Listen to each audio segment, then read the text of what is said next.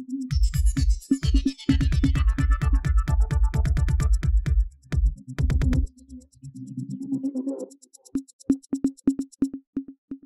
இது news focus Tamil. இந்த நேர்காணலில் நம்முடன் அரசியல் பேச இணைந்திருக்கிறார் மருத்துவர் காந்தராஜ் அவர்கள். வணக்கம் சார். இப்போ இந்த குடிக்கும் அரசியல் அண்ணாமலை ரொம்ப பெரிய தீவிரமாக முன்னெடுத்து பண்ணிட்டு இருக்காரு இப்போ அந்த விஷயத்தை அவர் என்ன என்ன செட் பண்ணுறாருன்னா இங்கே வந்து போட்டி அப்படிங்கிறது பாஜகவுக்கும் அஹ், திமுகவுக்கும் தான். ஆனால் வந்து ஸ்டாலின் என்ன முடிவு பண்ணியிருக்காருன்னா பாஜகவுக்கும் காவல்துறைக்குமான ஒரு போட்டி வந்து உருவாக்கி விட்டாங்க.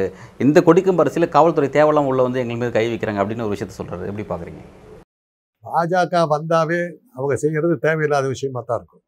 அவர் சொன்னது ரைட்டு அவங்க தேவையில்லாத விஷயங்களில் வந்து க போலீஸ் தலையிடு அவங்க செய்கிறது எல்லாமே தேவையில்லாத இன்னைக்கு கொடிக்கும்போ எதுக்கு என்ன ஆடுறீங்க? எங்கள் கொடிக்கும்போது அகட்டிட்டீங்க. எங்கள் வீட்டில் இந்த கொடிக்கும்போது வீட்டுக்குள்ளார வைங்க. யார் வேணாங்கிறா? வீட்டுக்குள்ளே கூட வைக்க விட மாட்டேங்கிறீங்களேங்கிறாரு. ஆ, ஓ- ஓட்டுக்குள்ளார ஏத்துறது யார் என்ன அமலாக்கத்துறையா? சிவரேருக்கு வச்சு உள்ள போறதுக்கு. போலீஸ் தமிழ்நாட்டு போலீஸ் அவ்வளோ மோசம் இல்லை. அமலாக்கத்துறை மாதிரி நடுராத்திரியில் திருட மாதிரி குதிச்சுக்கிற கூட்டம் இல்லை அவங்க. ரோட்ல வைக்காத அவ்வளோதான் அவங்க செய்யறது எது பார்த்தீங்கன்னாலும் மக்களுக்கு ஏதாவது தொந்தரவு பண்ணணும்.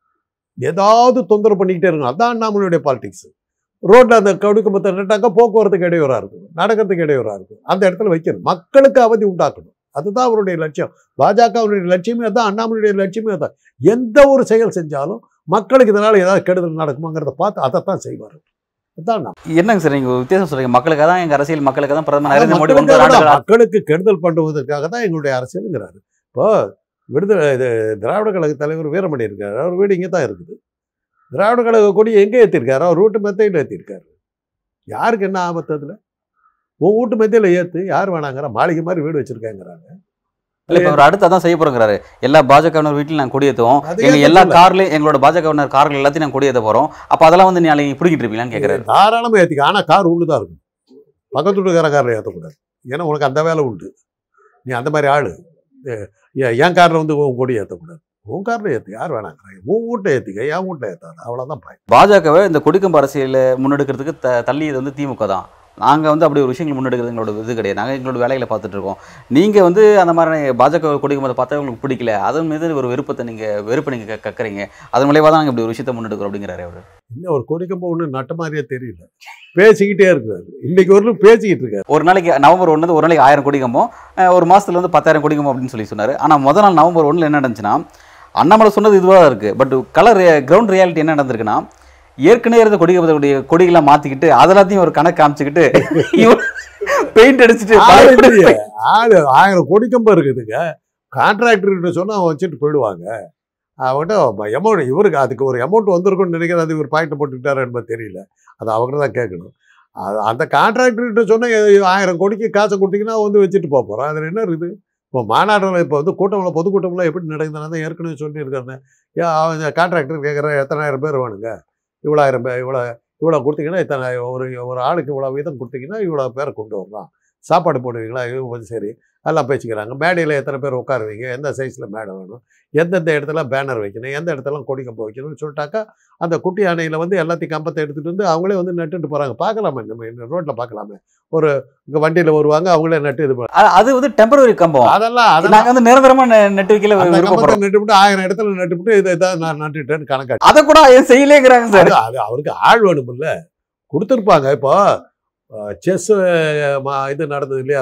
போட்டி நடந்த போது ஆடிட்டோரியத்துக்கு வரும்போது பெரிய இது ஸ்டாலின் வர்றாரு மோடி வர்றாரு. மோடிக்கு கைத்தட்டலே இல்லை. ஏன்டா வரலன்னா அதுக்கான ஏற்பாடு அந்த தலைவர் செய்யலை. ஏன் செய்யலை? அமைக்கிட்டாரு. அமைக்கிட்டாரு. அவங்க பண்ணிட்டாங்க. பெரிய கட்சிக்காரங்க உள்ளடி வேலை பார்த்தாங்க அமைக்கிட்டாரு. எதுக்குடாப்பா ஸ்டாலினுக்கு எடுத்துட்டு அது இவருக்கு சேர்த்து தட்டிடுவாங்கன்னு பார்த்தா இவர் வரும்போது ஒரு ஒரு வயலுக்கு கை தட்டாம காலை வரி விட்டான். அப்படிதாங்க. அதை நான் அன்னைக்கே சொன்னேன். கொடுத்துருப்பாங்க. லோக்கல் நிர்வாகிகள் அதை அமைக்கிட்டாங்கன்னு அர்த்தம். ஓகே இப்போ இந்த விஷயத்தில் வந்து அவர் என்ன குறிப்பிடுறாருன்னா வந்து கொடிக்கம்பம் வந்து ஏழு கொடிக்கம்பம் நட்டாங்க. மொத்தமே ஏழு நட்டுருக்காங்க. நெட்டுட்டு அங்கே அங்கே வந்து கணக்கு கொடுத்தது வந்து நூறு நூற்றம்பது நூற்றம்பது நெட்டு இருக்கும். அதுக்கு மேலே போலீஸ் வந்து எங்களை ரொம்ப இடைஞ்சல் பண்ணிட்டாங்க அப்படின்ட்டு எல்லா தளி அதாவது எல்லா பழி தூக்கி காவல்துறை மீதும் திமுக அரசு மீது உடனே போடுறாங்க. என்ன சொல்றாங்க நாங்க ஏழாயிரம் இடத்துல நட்டோம். ராவா ராவா எடுத்துட்டு போயிட்டாங்க கேட்டுக்க வேண்டியதுதான். என்ன இருக்குது? அதாவது புழுகுங்கிறதெல்லாம் நான் நான் அன்னைக்கு சொன்னது என்னன்னாக்கா அண்ட புழுகு ஆகாச புழுகு நம்ம கவர்னர் ரவி புழுகுன்னு வச்சேன். இப்போ அண்ணாமலை அவங்க எல்லாத்தையும் பீட் அடிச்சிருப்போம் அவர் தான் சொல்கிறாருங்களே ஆயிரத்தி தொள்ளாயிரத்தி இருபத்தொன்னாம் வருஷம் செத்து போன பாரதியார் வந்து ஆயிரத்தி தொள்ளாயிரத்தி முப்பத்தி ஒன்று திமுக வந்து திமுக வந்து அவரை கேவலப்படுத்திச்சு. திமுக அவர் திட்டினாரு அப்படிங்கிறத ஏதோ சொல்கிறாரு இஷ்டத்துக்கு எதோ எதோ பேசுகிறாரு அவர் அவர் அவர் பேச்சுக்கெல்லாம் ஏதாவது மரியாதை ஏதாவது யாராவது அறிவுள்ள எவனா பதில் சொல்லுவாங்க அவர் என்ன வேணாலும் பேசிக்கிட்டு இருக்கிறாரு என்ன வேணாலும் பேசிக்கிட்டு இருக்காரு. அப்புறம் தான் இந்த பாரதியை பற்றி பேசினார். முப்பத்தி ஒன்றில் ஆயிரத்தி தொள்ளாயிரத்தி இருபத்தொன்னில் இறந்த பாரதி வந்து முப்பத்தொன்னில் இதை செஞ்சாருன்னு சொன்னார் அப்படின்னாங்க. அதுக்கு தான் உங்ககிட்ட தான் சொன்னேன் நீங்கள் அவர் பாரதின்னு சொன்னது அவர் இல்லைங்க. பாரதியார் இல்லை. கன்னட நடிகை பாரதி அவர் தான் சொல்லியிருக்காரு. ஏன்னா அவர் கன்னடக்காரர். அங்கே அதானே சொன்னார். நான் தமிழ்நாட்டில் பிறந்திருந்தாலும் நான் கன்னடிக்கான்னு தானே சொன்னார். காவேரி தண்ணி ஒரு சொட்டு தண்ணி க தமிழ்நாட்டுக்கு விட மாட்டேன்னு அங்கே வீரவசனம் பேசணும் வராச்சே அதனால் அவருக்கு கன்னடக்காரர்கள்லாம் தெரியும். விஷ்ணுவர்தனுடைய மனைவியாக இருந்தவர் தமிழ் படங்களில் நடித்தவர் தங்கச்சுரங்கம் மாயமோதரம் இது மாதிரி உயர்ந்த மனிதன் போன்ற படங்களில் நடித்த பாரதியை பற்றி அவர் சொல்லியிருக்கார். நீங்கள் பாரதியார் நினச்சிக்கிட்டா அவர் பற்றி அப்படி இருக்கு இப்போ இந்த கொடிக்கும் அரசியல் அவர் பேசிட்டு இருக்கிற இடத்துல வந்து என்ன குறிப்பிடுறாருன்னா காவல்துறை மீது ரொம்ப கடுமையான கோவத்தை வெளிப்படுத்துறாரு. முதல்ல ஸ்டாலினுக்கு தான் அறிவு இல்லாமல் அவர் படிக்காதவர் அவர் ஒரு விஷயம் சொல்லிட்டாருன்னா வந்து உயரதில் நீங்களாம் இப்படி தான் இருப்பீங்களா? நான் வந்து படித்தவன் நீங்கள் வந்து எங்கிட்ட இப்படி தான் அரசியல் நீங்கள் செய்வீங்களா? காவல்துறையோட அந்தரங்கள்லாம் எனக்கு தெரியும். பார்த்துக்குங்க அப்படின்னு சொல்லி அவர் மிரட்டுறாரு. அதுக்காக கரெக்ட் அந்தரங்கங்கள் அவருக்கு தெரியும். கேடி ராகம் படம்லாம் நம்ம பார்த்துருக்கோமே வார் ரூம் வச்சுருந்தாரு. எல்லா அந்தரங்கமும் தெரியும். அவருக்கு தெரியாத அந்தரங்கமே கிடையாது. அதெல்லாம் அவரை ஒத்துக்க வேண்டியதுதான். ஸ்டாலின் படிக்கலைங்கிறது வந்து இன்னொரு பாயிண்ட் ஏன்னா இவர் மாதிரி இருபதாயிரம் புத்தகம் படித்தவர் உலகத்திலே யாரும் கிடையாது. ரெக்கார்டு இல்லை. வேர்ல்டு இருபதாயிரம் ப- புத்தக புத்தகங்கள் படித்தவர். அவரை போய் குறைச்சி மதிப்பிடலாமா கேட்குறவங்க என்ன இருந்தால் பூனை வந்து மூஞ்சல மூத்திரம் பெய்யும்பாங்க. நான் இருபதாயிரம் புத்தகங்கள் சொல்லி குறிப்பிட்டீங்க. இப்போ ஒரு நடைப்பயணம் பண்ணிட்டு இருக்க பார்த்தீங்களா அந்த நடைப்பயணத்தில் ஐம்பத்தி ரெண்டு இடங்களில் வந்து கிட்டத்தட்ட வந்து இருபதாயிரம் மனுக்கள் வந்து கொடுத்துருக்காங்க. அதாவது மக்கள் வந்து இருபதாயிரம் மனுக்கள் வந்து பிரச்சனையை சம்மந்தமாக கொடுத்துருக்காங்க. இதெல்லாம் நீங்கள் நிவர்த்தி செய்யணும் சொல்லி கொடுத்துருக்கான்னு சொல்லிட்டு இன்னைக்கு ஒரு செய்தி வெளியே இருக்கு. அதில் சொன்னாங்க. ஆதார் கார்டு ஜெராக்ஸ் எல்லாம் கொடுத்தாங்க. அதெல்லாம் வாங்கி வச்சுக்கிட்டு மனு கொடுத்தாங்க மனு கொடுத்தாங்க. அந்த மனுவை நீ பார்த்து பிரித்து கொடுக்க வேண்டியது எந்த டிபார்ட்மெண்ட் அனுப்புன்னு சொல்லி பிரித்து கொடுக்க உலக புகழ்பெற்ற கட்சியாச்சே. இந்தியா இந்த இன்னைக்கு இந்தியா முழுக்க ஆண்டு இருக்கிற கட்சியாச்சே. தமிழ்நாடு முழுக்க உனக்கு தான் ஒன்றரை கோடி ரெண்டு கோடி பேர் உறுப்பினர்கள் உள்ள கட்சியாச்சே.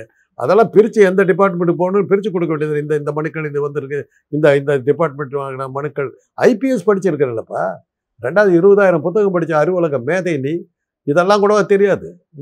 இதெல்லாம் என்ன மாதிரி படிக்காதவங்களாம் வந்து ஒரு ஆஃப்டர் ஆல் ஒரு டாக்டருக்கு படித்த ஒரு ஆள் நான்லாம் பேசலாமா? உன்ன மாதிரி ஒரு மேதை. எவ்வளோ பெரிய மேதை. ஸ்டாலின் பிஏ டிகிரி இப்போ பிரசிடென்சி காலேஜில் வாங்கினாரு. ஓ உனக்கு தெரியுமா அது? ம்? நீ ஏதாவது காலேஜுக்கு போனியா? உன் படிப்பை பற்றியே ப்ளஸ் டூவை பற்றியே சந்தேகப்படுறாங்க உன்னை பற்றி நீ ஐபிஎஸ்ன்னு கதை விட்டுக்கிட்டு சுற்றிட்டு உண்மைதானாங்கன்னு தெரியுது இந்த கொடிக்குமா அரசியல் விஷயத்தில் வந்து அவர் காவல்துறை கடுமையாக சாடுறாரு. காவல்துறைக்கும் எங்களுக்குமான ஒரு முரண்பட்ட போக்கு உருவாக்க முயற்சி பண்ணுது. நாங்கள் நினச்சா காவல்துறை ஸ்தம்பிக்க வச்சிருவோம். அந்த அளவுக்கு காவல்துறையால் டுவெண்ட்டி ஃபோர் இன்ட்டு முப்பது நாட்கள் அதாவது இருபத்தி நாலு மணி நேரம் முப்பது நாட்கள் அப்படிங்கிற மாதிரி அவங்கள வந்து ஸ்தம்பிக்க அளவுக்கு பாஜக அளவு போராட்டத்தை முன்னெடுக்க முடியும். நாங்கள் அப்படிலாம் செய்யக்கூடாது அப்படின்னு பார்க்குறோம். அப்படிங்கிற மாதிரி ஒரு ஒரு மிரட்டல் டோன் வந்து வெளியிடுறாரு. அது எப்படி பார்க்குறது? எப்படி பயத்தில் வர்றது. புழுவை குச்சியில் குத்துனீங்கன்னா டக்குன்னு அப்படி தலை தூக்கும். கோவமா. அதனால என்ன பண்ண முடியும்? இந்த புழு மாதிரி தான் அவர் சார் அவர் பெரிய தலைவர் தேசிய கட்சியினுடைய பேசிக்கிட்டு தானுங்களா இருக்காரு? பேசிக்கிட்டு தானே இருக்காரு? பார்த்தா அப்பதான் ஆயிரம் கோடி கம்பம் எங்கே போச்சுன்னு தெரியல. அதுக்கப்புறம் போலீஸோட முறைச்சிக்கிட்டு நாங்கள் நினைச்சாலும் செய்ய. யார் வேணாங்கிற? ரயிலை நிறுத்து. பிள்ளையான ஓட ஓடம் பண்ணு. கடையெல்லாம் அடை அடை அடைக்க சொல்லு. சார் அந்த மாதிரி தான் செய்யறதுக்கு முயற்சி பண்ணுறான்னு சொல்லி சொல்கிறாங்க சார். பண்ண. அது நடந்துடக்கூடாது தமிழ்நாட்டில் அது நடந்துடக்கூடாது உனக்கு ஆள் இருந்தால் செய்யப்பா யார் வேணாங்கிறா? பேசாத செய்ய. நீ தான் பெரிய ஆளாச்சு. பெட்ரோல் வெடி கொண்டு வீசுகிற ஆளாச்சு. நீ சாதாரண ஆளா? என்ன சார் இவர் குறிப்பிட்டு பெட்ரோல் கொண்டு அது போட்டது கருக்கா வினோத் அப்படின்னு சொல்லிட்டு இவர் அவர் அவர் அவர் எங்க எல்லாம் அவர் கரெக்டாக கொண்டு போடுறாரு. வெடிக்காத மாதிரி போடுவார். ஒரே ஒரு இடத்துல வெடிச்சது. அவருடைய அவங்க ஆஃபீஸில் வெடிச்சது. அது வெடிச்சா என்ன ஆகும்னு அப்போ தெரிஞ்சு போச்சு. ஒரு இடத்துல கொஞ்சம் கருப்பாக புகை அடிக்குங்கிறது தான் பெட்ரோல் வெடிகுண்டால் வரக்கூடியது. நாம் கூட என்ன நினச்சோம்? பெட்ரோல் வெடிகுண்டு போட்டாங்க. டி நகர் பூரா இடிச்சு கொட்டி போச்சு. சரவணா பவன்லாம் இடிச்சு போச்சு. எல்லாம் போச்சு. எல்லாம் அங்கே போனால் தரமட்டமாக இருக்கும். மக்கள்லாம் அந்த நிர்ணய பலாயிரக்கணக்கான மக்கள் செத்து போயிருப்பாங்க அங்கே போனால் செவுத்தில் அவங்க ஆஃபீஸில் செவுத்தில் ஒரு ஒரு ரூபாய் அகலத்தில் ஒரு கருப்பாக ஒரு இது. அதுதான் பெட்ரோல் வெடிகுண்டால் ஏற்பட்ட அந்த ஆஃபீஸுக்கு ஏற்பட்ட சேதம். அதை அண்ணாமலை வந்து அணுகுண்டு போட்ட மாதிரி பார்த்து ஒரு போஸ். அவ்வளோதான் பெட்ரோல் வெடிகுண்டு பெட்ரோல் வெடிகுண்டு வந்து நீங்கள் வந்து பெருசாக பயந்துக்க வேண்டிய அவசியம் இல்லை. அதுலேயும் அந்த ஆள் எப்படி? அவன் எவ்வளோ சாமர்த்தியமாக இருக்கான் பாருங்க. கவர்னர் இதில் மாளிகைக்கு முன்னாடி வைக்கிறான். சிசிடிவி இருக்கிறது தெரியாமல் அந்த முட்டாள் பண்ணுவான். சொல்லி அனுப்ப வேணாம். ஒரு ஐபிஎஸ் படித்த ஆள். டே அங்கே சிசிடிவி இருக்கும். அதை தாண்டி வை இதை தாண்டி இன்ஸ்ட்ரக்ஷன் கொடுத்துருக்க முடியாது. அண்ணாமலை வரதுக்கு முன்னாடி பெட்ரோல் வெடிகுண்டுங்கிற விஷயம் தமிழ்நாட்டுக்கு தெரியாதுங்க. முதல் பெட்ரோல் வெடிகுண்டு நம்ம கேள்விப்பட்டது வந்து பாஜக ஆஃபீஸில் வச்சது? தான் அதுக்கப்புறம் கோயம்புத்தூரில் வச்சாங்க. பாஜக நிர்வாகிகள் வீட்டுக்கெல்லாரும் முன்னாடி வந்து வந்து உருண்டு உருண்டு உழுவுது. ஒன்று கூட வெடிக்கல. யாருக்குமே ஆபத்து இல்லை. அதான் சாமர்த்தியம். பெட்ரோல் வெடிகுண்டுங்கிற ப- ப- ஒரு பயமுறுத்தலை உண்டாக்கியாச்சு. ஆனால் அதே சமயத்தில் பாஜகவுக்கும் ஒரு சேதமும் இல்லாமல் பார்த்துக்க அதான் நாம அதான் நாம கஞ்சா வச்சு பாக்கெட்டில் வச்சு அவரை பிடிச்சி பிடிப்பாருல்ல.